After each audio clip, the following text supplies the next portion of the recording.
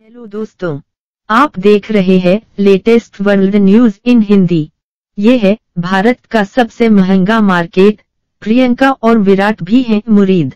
दिल्ली का खान मार्केट एक बार फिर सुर्खियों में है। Commercial real estate consultant firm Cushman and Wakefield की ताज़ा रिपोर्ट के मुताबिक, खान मार्केट भारत की पहली और दुनिया की 24वीं सबसे महँगी जगह है। इसके पहले 2016 की लिस्ट में खान मार्केट को 28वां स्थान मिला था। रिपोर्ट की माने तो यहाँ दुकान का किराया 1250 रुपए प्रति वर्ग फुट है। वहीं, एशिया प्रशांत क्षेत्र की बात की जाए तो खान मार्केट इस मामले में ग्यारहवें स्थान पर है।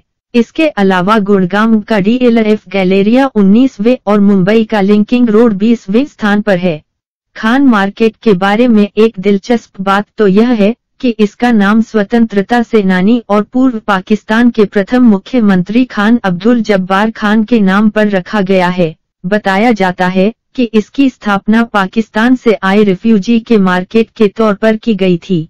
यू शेप में बने इस मार्केट में एक सौ चौवन दुकानें और चौहत्तर फ्लैट्स हैं। दुनिया के लगभग सभी बड़े ब्रांड्स के शोरूम आपको यहाँ मिल जाएँगे। कहा जाता है कि यदि कोई विदेशी कंपनी अपना नया प्रोडक्ट लॉन्च करती है तो वह सबसे पहले खान मार्केट में आता है। आम आदमी, नेता हो या सेलेब्स खान मार्केट में अक्सर शॉपिंग करने आते हैं। सोनिया, प्रियंका गांधी, क्रिकेटर विराट कोहली, हरभजन सिंह, शाहरुख खान, अक्षय कुमार समेत कई सेलेब्स खान मार्केट में शॉपिंग करने आ चुके हैं। बताया जाता है कि विराट जब भी दिल्ली में होते हैं तो अक्सर खान मार्केट में आते हैं। यहाँ के टाउन हॉल रेस्टोरेंट की फ़ोटोज़ वे अपने ट्विटर अकाउंट पर शेयर कर चुके हैं। आशीष नेहरा भी युवराज सिंह के साथ दिल्ली के खान मार्केट में नज़र आ चुके हैं। दिल्ली होम टाउन होने के कारण नेहरा यहाँ अक्सर आते रहते हैं। खान मार्केट की एक और खास बात यह है कि यहाँ कई दुकानें ऐसी हैं जो 50 साल से ज़्यादा पुरानी है।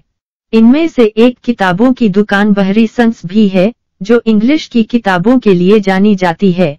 खान मार्केट में कपड़ों के शोरूम और रेस्टोरेंट के अलावा बॉलीवुड शूटिंग स्पॉट भी माना जाता है। यहाँ कई फ़िल्मों और टीवी सीरियल की शूटिंग हो चुकी है। खान मार्केट को पुनः विकसित करने की भी बातें कही जाती रही है। समय के साथ यहाँ कार पार्किंग की भी समस्या बढ़ी है। हालाँकि खान मार्केट को विकसित करने के लिए कई प्रोजेक्ट्स पर सरकार विचार कर रही है।